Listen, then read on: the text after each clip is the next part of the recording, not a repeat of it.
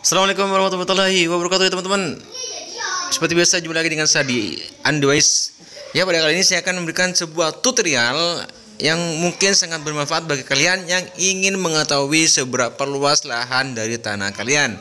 Tentunya kalian di sini memiliki tanah ataupun sebidang tanah ataupun rumah yang bisa kalian ukur dengan menggunakan satelit ya teman-teman. Nah di sini sebelum kita mulai, seperti biasa bagi kalian yang baru bergabung silahkan klik tombol subscribe dan jangan lupa nyalakan lonceng notifikasi agar kalian menjadi orang pertama yang tahu tentang perkembangan dari video di channel ini ya teman-teman.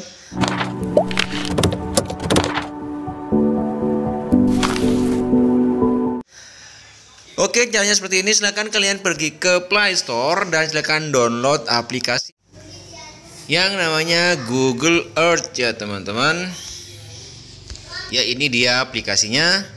Di sini saya sudah menginstal dan silakan kalian setelah diinstal kalian buka ya teman-teman.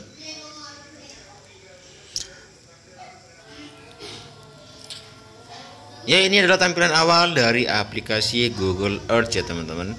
Untuk mencari lahan kita klik saja desa ataupun tempat kita di mana tinggal ya teman-teman ataupun tempat yang ingin kita ukur. Contohnya seperti ini saya akan ketikkan desa saya dan juga kecamatan.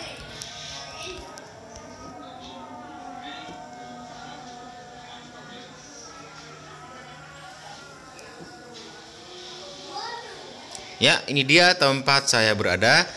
Setelah itu kita akan cari tempat di mana yang ingin kita ukur. Berhubung saya berasal dari tempat ini, tentunya saya sudah sangat paham dengan tempat yang akan saya ukur ini ya teman-teman. Sebagai contoh saya akan mengukur sebuah sawah ataupun ladang di sini ya teman-teman.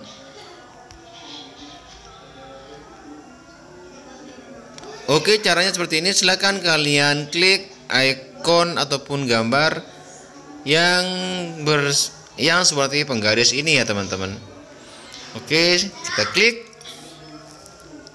dan kita arahkan titik ini ke pojok dari tanah yang akan kita ukur. Ya, setelah itu kita klik tambahkan titik di sini. Kita klik. Kita geser ke titik pojoknya ya, teman-teman.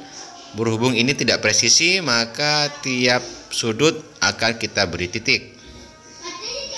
Oke, setelah itu kita tambah titik lagi tarik ke sudut berikutnya.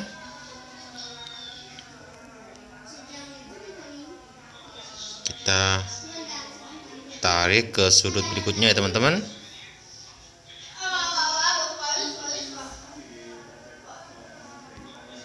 Kita klik tambahkan titik lagi.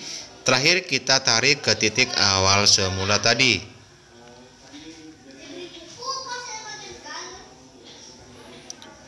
Terakhir kita tutup bentuk ya teman-teman di sini.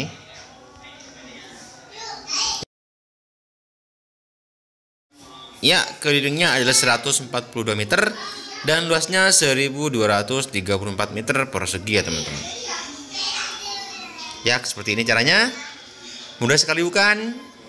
Cukup sekian tutorial pada kali ini. Semoga bermanfaat. Saya akhiri. Wassalamualaikum warahmatullahi wabarakatuh